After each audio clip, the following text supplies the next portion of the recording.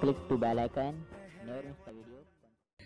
Hello friend मैं विकास कुमार, आपके अपने चैनल कंसेप्ट टू ट्रिक में आपका स्वागत करता हूँ जैसा कि आपको पता है कि अपनी साइंस की एमस्क्यू की सीरीज़ चल रही है तो उसका आज हम पार्ट पाँच डिस्कस करने वाले हैं और आज, अब से पहले आपने आपने चार पार्ट इसके नहीं देखे हैं तो इनके डिस्क्रिप्शन में इसके लिंक है तो आप आप वहाँ पे जाके इनके लिंक पे जाके वीडियो देख सकते हैं।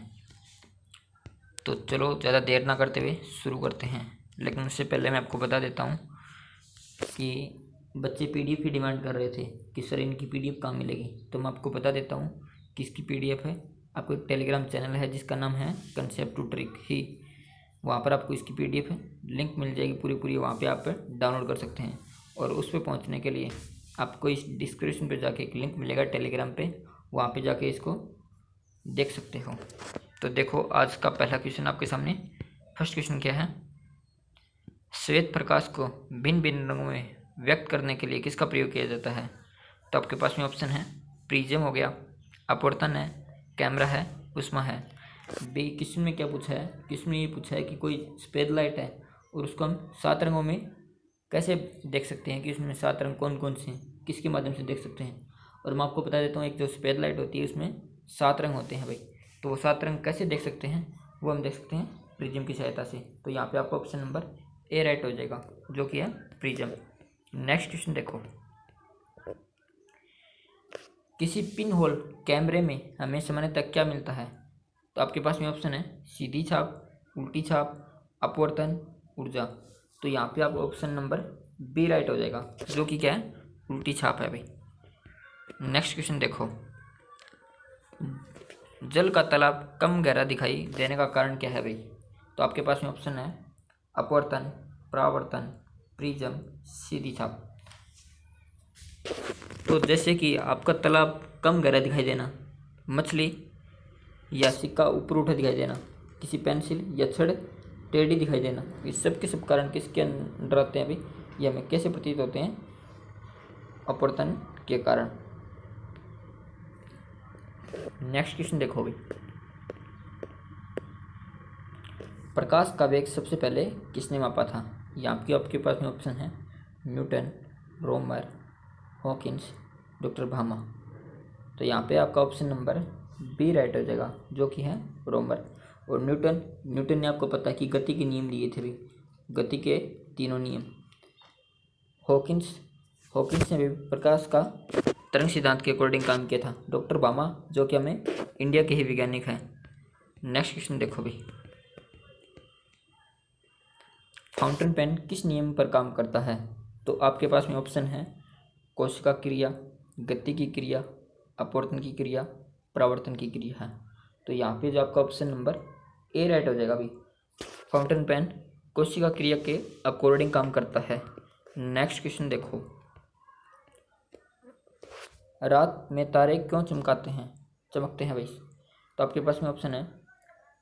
अपवर्तन के कारण परावर्तन के कारण उष्मा के कारण ऊर्जा के कारण। जैसा कि मैम मैंने आपको पहले बताया था कि बहुत सी क्रिया हैं जो कि अपवर्तन के कारण दिखाई दे, देती है। जैसे कि पेंसिल का मोड़ा दिखाई देना सिक्का ऊपर उठे दिखाई देना तालाब कम गहरा दिखाई देना और रात को तारे जो टिमटिम करते हैं उसका भी कारण क्या है? आपके पास में अपवर्तन है। तो यहाँ पे आपका ऑप्शन नंबर ए राइट हो जाएगा, जो कि है अपवर्तन। और आपके पास में एग्ज़ाम में एक क्वेश्चन और पूछा जाता है कि आकाश का नीला रंग या समुद्र का नीला रंग किस कारण से दिखाई देता है? तो उसका ऑप्शन नंबर ऑप्शन नहीं है यहाँ पे, लेकिन उसका कारण होता है प्रकीर्णन, क्योंकि वो प्रकीर्णन के कारण दिखाई देता है। और अपवर्तन के कारण एक चीज़ और दिखाई देती है, वो क्या है कि सूर्य, सूर्योदय से थोड़ा पहले दिखाई देना और सूर्यास्त के बाद भी दिखाई देना। उसका कारण क्या है? अपवर्तन ही है अभी। और एक चीज़ और, जो कि सूर्य की शाम को और सुबह जो लालिमा दिखाई देती है। उसका भी कारण क्या है अभी? प्रकीर्णन है। नेक्स्ट क्वेश्चन देखो।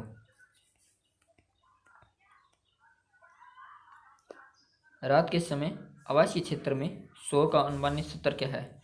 तो आपके पास में ऑप्शन है चौवन डेसिबल पैंतालीस डेसिबल सैंतीस डेसिबल उनचालीस डेसिबल मैं आपको बता देता हूँ कि जो ध्वनि की प्रबलता है, वो किसमें मापी जाती है? तो वो मापी जाती है डेसिबल में मापी जाती है अभी। और यहाँ पे अपने क्वेश्चन में क्या पूछा गया है? कि रात में जो आवासीय क्षेत्र होता है, वहाँ पर शोर का अनुमानित क्षेत्र कितना माना गया है? वो कितना होता है? यहाँ पे आपका ऑप्शन नंबर बी राइट हो जाएगा, जो कि कितना है? पैंतालीस डेसिमल नेक्स्ट क्वेश्चन देखो। सूर्य की उष्मा पृथ्वी पर कैसे पहुँचती है? तो आपके पास में ऑप्शन है तेज गति के द्वारा, विकिरण के द्वारा तरंगों के द्वारा, कम गति के द्वारा। मैं आपको बताते, बता देता हूँ पहले कि प्रकाश तो सूर्य में उत्पन्न होने का कारण क्या है? वो क्या है? परमाणु संलयन। उसमें हाइड्रोजन और हीलियम पाए जाते हैं और हाइड्रोजन हीलियम में कन्वर्ट हो जाता है, जिससे कि ऊर्जा मुक्त होती है और वो हमारे तक हमारे तक पहुँचती है। और उस पहुँचने, किसके द्वारा पहुँचती है?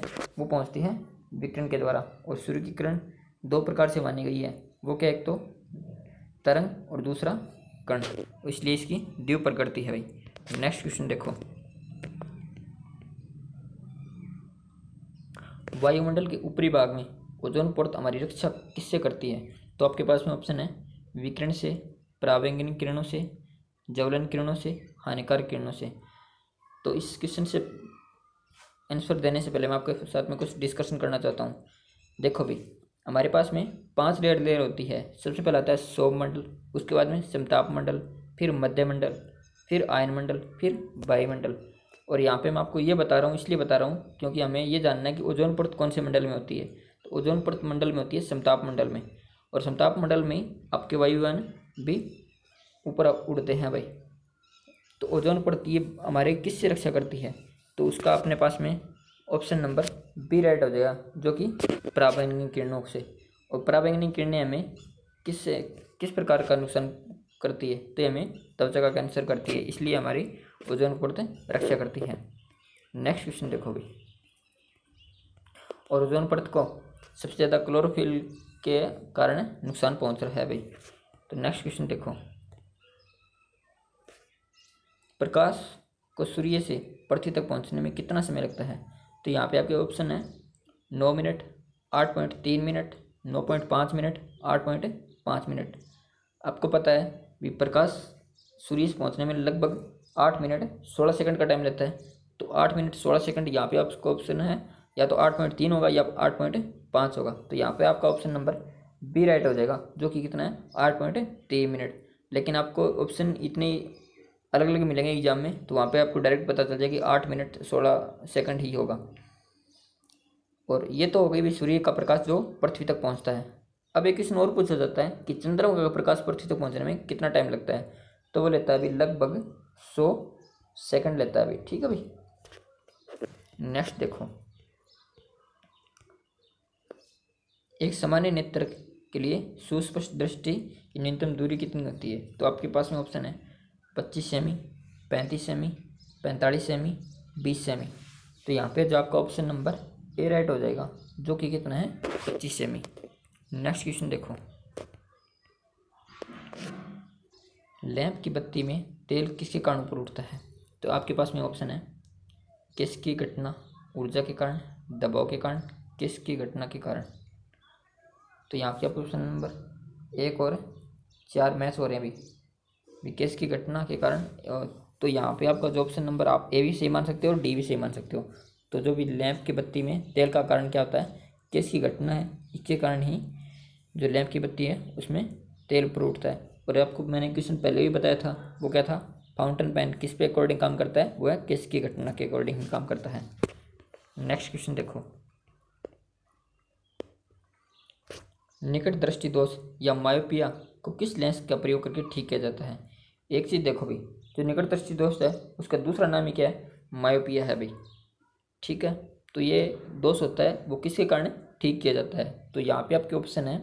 उत्तर लेंस अवतल लेंस कठोर लेंस या सामान्य लेंस मैंने आपको पहले एक ट्रिक बताई थी भी निकट दृष्टि दोष में कौन सा लेंस काम में लेते हैं और दूरदृष्टि में कौन सा काम लेते हैं। देखो, निकट दृष्टि दोष। अगर किसी को निकट दृष्टि दोष है तो उसको निकट की वस्तुएँ साफ़ दिखाई देंगी। लेकिन क्या है? दूर की वस्तुएँ दिखाई स्पष्ट नहीं देगी। तो इस और दूरदृष्टि दोष में, दूर की वस्तुएँ स्पष्ट दिखाई देगी और निकट की वस्तुएँ दिखाई नहीं देगी।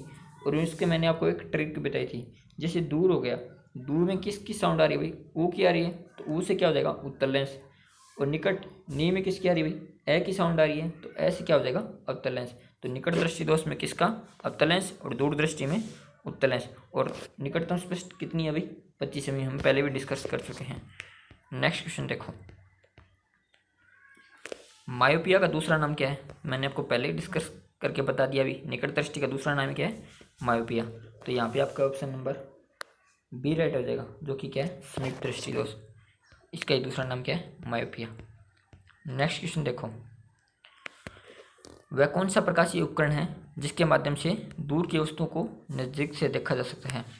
तो आपके पास में ऑप्शन है उत्तर लेंस दूरबीन, अवतल लेंस नेत्रिका।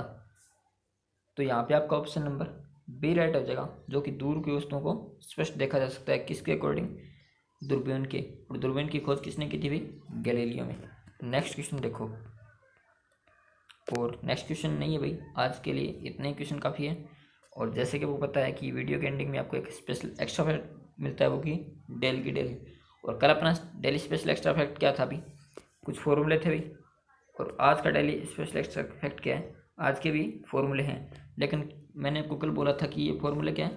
कम है। तो आज कुछ पूरा कर देते हैं ये फॉर्मूले कितने होते हैं टोटल देखो तो सबसे पहले है संगमरमर। तो संगमरमर का क्या होगा? सी ए सी ओ थ्री उसके बाद में नौसादार। नौसादार का क्या है भाई N H four C L इसके बाद में laughing gas N two O ये एग्ज़ाम में बहुत रिपीट होता है अभी। जिसे नाइट्रिक ऑक्साइड भी बोलते हैं। इसके बाद में लिथार्ज इसका क्या होगा? P B O galena galena क्या? P B S. तो ये क्या है? लेड का भी। ऐसे B B. Galena. P B S. इसके बाद में लाल सिंदूर। लाल सिंदूर का क्या होगा? P B three O four. इसके बाद में सफ़ेद लेड। सफ़ेद लेड का क्या होगा भाई two P B C O three, P B O H two. इसके बाद में नमक का अमल। नमक का अमल क्या हो जाएगा? एच सी एल, हाइड्रोक्लोरिक अमल। इसके बाद में सोरे का अमल। सोरे का अमल क्या हो जाएगा? H N O three. अमल राज एक बार रिजिया जिस, जिसका फॉर्मूला क्या होता है? H N O three H A C L यहाँ पे क्या है? इनका अनुपात पूछा जाता है। एक चीज़ देखो, अगर थ्री है तो थ्री के साथ में हमेशा क्या आएगा? वन आएगा। जहाँ पे वन आएगा, उसके साथ में क्या आएगा? थ्री आएगा। तो जहाँ पे थ्री होगा वहाँ पे वन और जहाँ पे वन है, वहाँ पे थ्री तो इसका अनुपात कितना हो जाएगा? वन अनुपात थ्री नेक्स्ट क्या है? शुष्क उर्वरक। क्या होता है अभी? कार्बन डाइऑक्साइड जिसे सी बोलते हैं। अगला क्या है? हरा खसीस हरा का क्या होगा? F E S O four seven H two O इसके बाद में हॉरन सिल्वर हॉरन सिल का हॉरन सिल्वर का क्या हो जाएगा? ए जी सी एल इसके बाद में बारीजल बारीजल का क्या हो जाएगा? डी टू ओ इसके बाद में प्रोड्यूसर गैस प्रोड्यूसर गैस का क्या हो जाएगा? सी ओ प्लस में एन टू ओ और यहाँ पे एक हाइड्रोजन गैस का आपको पता ही है एच टू होता है। और नेक्स्ट देखो। मार्स मार्स मार्स क्या बोलते हैं? मिथेन भी बोलते हैं अभी। मिथेन का फॉर्मूला क्या होगा? सी एच फोर सिरका। सिरका क्या होता है भाई C H three C W H इसे एसिटिक एसिड भी बोलते हैं। आगे क्या है? गैमसिन गैमसिन का क्या हो जाएगा? C six H six C L six इसके बाद में नीला चीज़। इसे नीला थोथा भी बोलते हैं। नीला थोथा का फॉर्मूला क्या होगा? C O S O four five H two O इसके बाद में एल्कोहल एल्कोहल का कितना हो जाएगा भाई? C two H five O H इसके बाद में मंड, इसका कितना हो जाएगा? C six H ten O five इसके बाद में अंगूर का रस, अंगूर का रस का क्या हो जाएगा? C six H twelve O six इसके बाद में चीनी जिससे सुक्रोज बोल सकते हैं।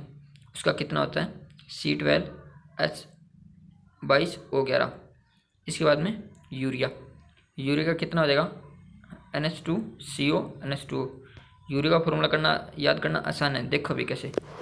यहाँ पे बीच में क्या है? सी ओ और इसके दोनों साइड क्या है? N H two N H two जोड़ना है अभी। बेंजिन बेंजिन का क्या होता है? सी सिक्स एच सिक्स और लास्ट क्या है? तारपिन का तेल। इसका कितना होता है? C ten H sixteen next देखो भी और नेक्स्ट अपने पास में डेली स्पेशल एक्स्ट्रा में फैक्ट में आज यही था भी और वीडियो वॉचिंग के लिए थैंक्स और वीडियो पसंद आई है तो लाइक करना। और अपने स्टडी रिलेटेड ग्रुप में शेयर करना। और जो भी आपकी जो क्यूरी है आपसे जो क्वेश्चन आपको कुछ डाउट रह गया तो हम कमेंट से आप पूछ सकते हो। और जो आपका नेक्स्ट वीडियो में आपका सोल्यूशन करवा दिया जाएगा। और वीडियो पसंद आई है और अन्य इस, इस प्रकार के वीडियो देखने के लिए अपने चैनल को सब्सक्राइब करना और ज़्यादा से ज़्यादा शेयर करना। थैंक्स भाई फिर मिलेंगे। हम अपना फ़र्ज़ निभा